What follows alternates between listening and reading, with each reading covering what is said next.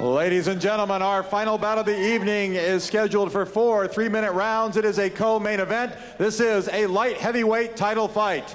Your judges scoring this fight at ringside are John Rupert, Mike Ross, Gene Waring, and Don Ballas. Your referee in charge of the action, Jorge Alonso. Introducing first, fighting out of the red corner, wearing the red trunks with the black trim, standing six feet tall, weighing 193 pounds. He is undefeated in his career, 13 wins, no losses, with eight big knockouts. His fighting style is Muay Thai. He comes from Fort Lauderdale, Florida, the PKL International Cruiserweight Champion. Here is Christian King Cobra Tolek.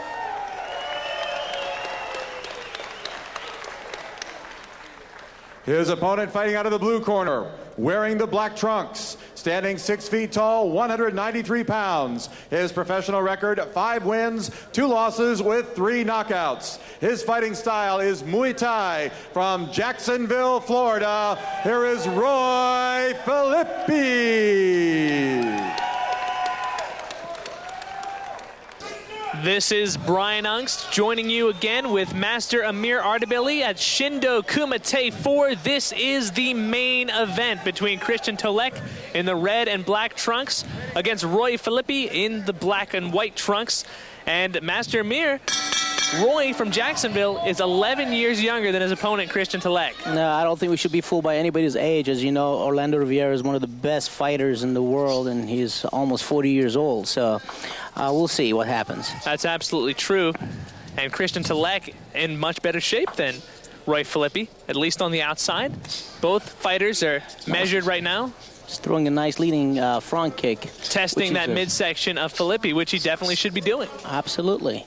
And that's a way. That's a good way to set up your opponent anyway. I mean, uh, he's doing a great power kick right now. Three in a row, all landed to the midsection, followed by a nice straight right hand you could tell that uh, he has a lot more experience. That's obvious in his motion. Of course, uh, Felipe is a very good fighter. He's a very powerful fighter. I've seen him fight in Shindo Kumate before. This is a third fight in Shindo.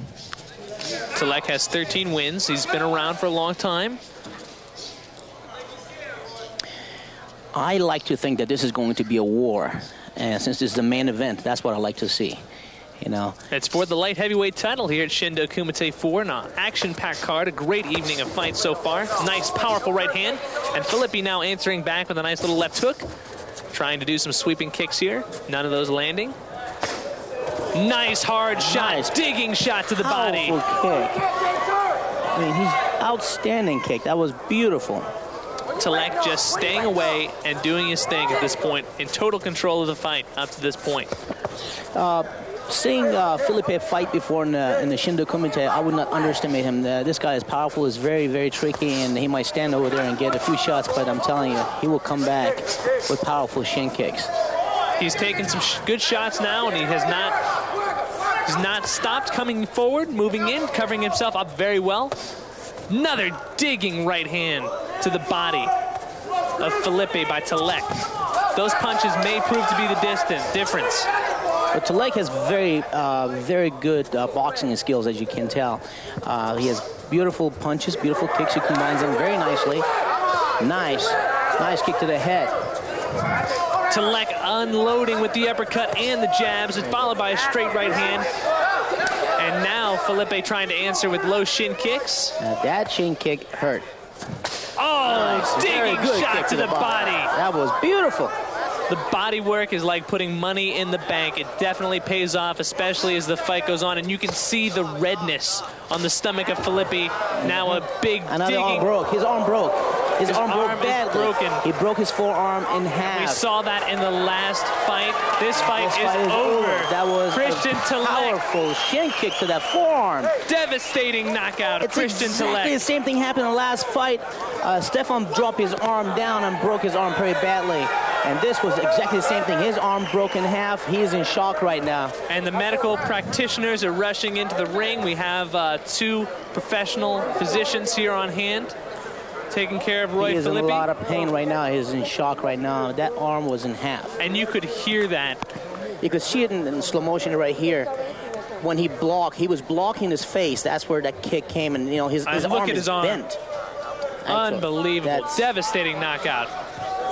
Well, that's the name of the game. You know, you do uh, professional Muay Thai, and that's exactly what happens. And Amir, what are the odds that both of the of the main events, the main event and the semi-main event, both This guy is a warrior. Look at him. I mean, he has that arm is, is he's shaking. His arm is broken. It comes back in the middle of the, He doesn't even want to sit down. I mean, I respect this fighter. Unbelievable.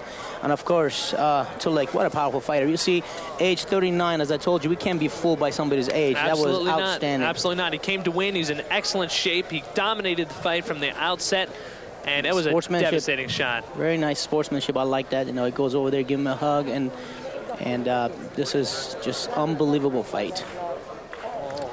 What a way to end it here. Shindo Kumate for the main event light heavyweight title, going to Christian Telek, age 39 from Fort Lauderdale.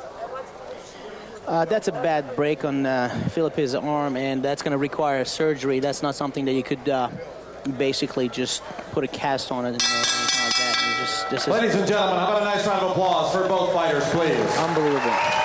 Unbelievable.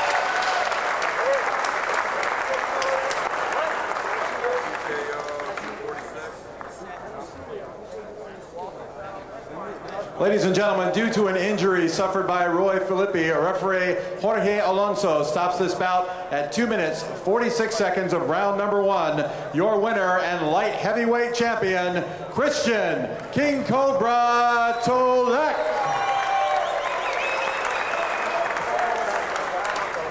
We'll be back after this. Yikes. Yep. Yeah, that was uh That was a nasty break. that was a tough one to take right there. I Almost looked at the little rubber pencil trick on his forearm. Um well, so you want to be a Shindo Kumate fighter. You want to go fight professionally and uh, bang your shins and forearms. Yes, not for the faint of heart. Uh, It takes a lot of heart. Well, what we're going to do when we come back is show what Roy Philippi could have done against Christian Tolek to prevent that nasty break he took. So stay tuned. We'll be right back. All right, everybody, welcome back. As we were speaking earlier about the uh, gruesome arm break suffered by Roy Philippi, what he could have done different, possibly, you know, hindsight being 2020, to avoid that nasty break. Absolutely. But don't forget, audience, that that was a great fight, and the both athletes to display great skills.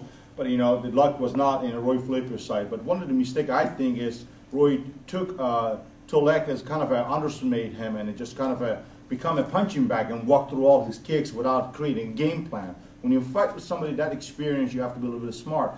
And, and then also the way he had his arm block, and I think that was a major cause that the arm broke. And more of a boxer standing and leveraging the kicks. So if you keep have the way he had his guard, he was up like here, and he was eating the kicks. You see, the shin kick was flying into the body with a force. Versus if you somebody throwing a shin kick, you have to double it up with a second arm, correct? So you block it now. See, you're blocking it with the elbow. These hands will go up, and these hands comes here. So you have all the leverage in the world. So you just come up here. That's take less shocks in your your hands. And I think you know, a guy like a Tolek with a power, 185 pounds, a lot of force behind it. The speed of some of those shin kicks travels anywhere from 60 to 150 miles an hour when you hit somebody. If you have a hard shin bad, shin, shin, shin, you break the arm. Right. Yeah. It, it almost seems like uh, Tolek had put so much pressure on him. He was building that. He was, you know, uh, Philip. He was doing everything he could because he was getting hit. I mean, he was catching hard kicks, hard, you know, everything. Tolek was a, an animal. Yes, And, absolutely. uh, Dominate the whole show. As you can see on that fight, when he got hit, his hand was next to his jaw and it almost became a lever. Yeah. Where it, because of the absorbing the punches, because Tolek was just dishing it out, with nothing else for the form to do at that point but break, like mine almost just did right there. Definitely. Guys, stay tuned. We're going to be back in a short time. Uh, we got a lot more left in the show, and you guys don't want to miss it. Stay tuned. Okay, everyone, thank you for joining us on Shindo Kumate Strykerz. Be sure to tune in next week where we're going to cover MMA versus Muay Thai. Absolutely. This is where you see two of the best fighters of all time. Clifton Brown, who's the number two ranking in the world, greatest Muay Thai practitioner. He beat a lot of great fighters around the world.